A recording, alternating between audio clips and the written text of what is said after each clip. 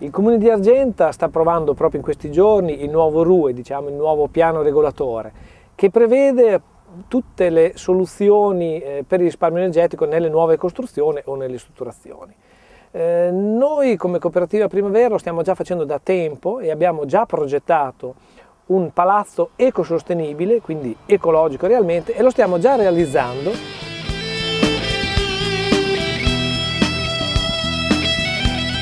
Le nuove case devono consumare poco. Cosa vuol dire consumare poco? Che dobbiamo già idearle, dobbiamo già costruire con certi criteri. I criteri sono, prima di tutto, eh, proteggerle dal freddo e dal caldo. Il tetto in legno ha caratteristiche per suo conto eh, di essere ovviamente naturale e di avere un grande isolamento termico. In secondo luogo gli mettiamo alla casa un cappotto, si chiama realmente cappotto, che non è altro che un isolamento esterno di tutte le pareti atto proprio a difenderla sia dal freddo d'inverno che dal caldo d'estate. In secondo luogo dobbiamo riscaldarle con delle caldaie di ultima generazione, caldaie a condensazione, eh, con anche l'ausilio dei pannelli radianti a pavimento che sappiamo che hanno un minor consumo di acqua calda e aiutandoli con dei pannelli solari termici. Cosa vuol dire? Sono pannelli che praticamente ci aiutano attraverso il sole, che è gratis, l'energia solare, ci aiutano a scaldare l'acqua sia per l'uso sanitario sia per l'uso di scaldamento proprio.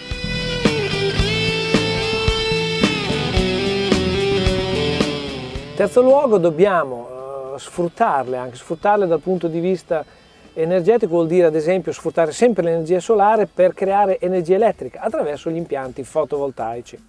Quindi dobbiamo sì sfruttare la nostra abitazione per creare energia alternativa, energia appunto pulita.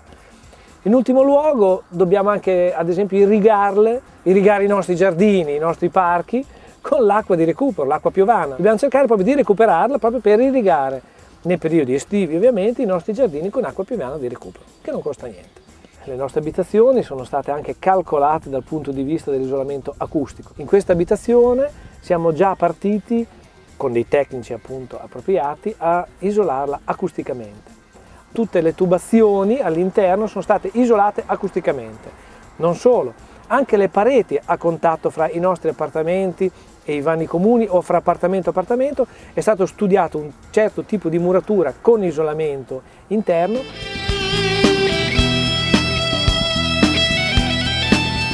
Questo sicuramente è l'indirizzo per il futuro. Poi sappiamo bene che la tecnologia al giorno d'oggi corre. Noi costruttori dobbiamo essere sensibili nel capire eh, che cosa bisogna fare per migliorare. Già abbiamo dato tantissimo, già queste case di nuove generazioni sono veramente molto all'avanguardia rispetto a quelle tradizionali. Però questo non vuol dire che ci dobbiamo fermare, noi dobbiamo sempre fare nuova ricerca, partendo anche da chi come noi amministra queste società di costruzione, cioè dobbiamo noi stessi capire eh, dove andare verso il futuro che deve essere sicuramente più ecosostenibile.